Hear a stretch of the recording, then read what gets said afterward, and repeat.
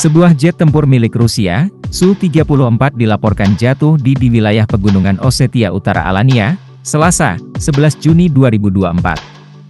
Akibat dari kecelakaan tersebut, dua orang pilot yang mengawaki pesawat tersebut dinyatakan tewas.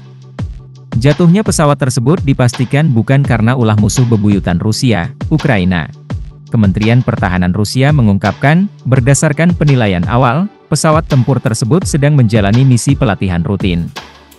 Pesawat mengalami kegagalan teknis, kata kementerian tersebut seperti dikutip oleh kantor berita TAS. Osetia Utara terletak di Kaukasus Utara, dan berbatasan dengan Osetia Selatan dan Georgia.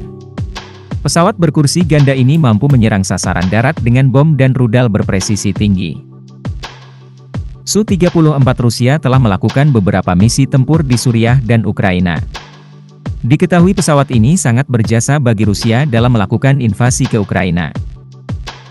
Su-34 dan Su-35 sering melakukan tandem saat pengeboman di wilayah Donbas, Ukraina Timur.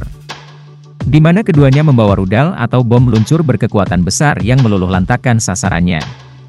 Su-34 juga berperan aktif bagi Rusia dalam mengambil alih kota Avdiivka di Donetsk.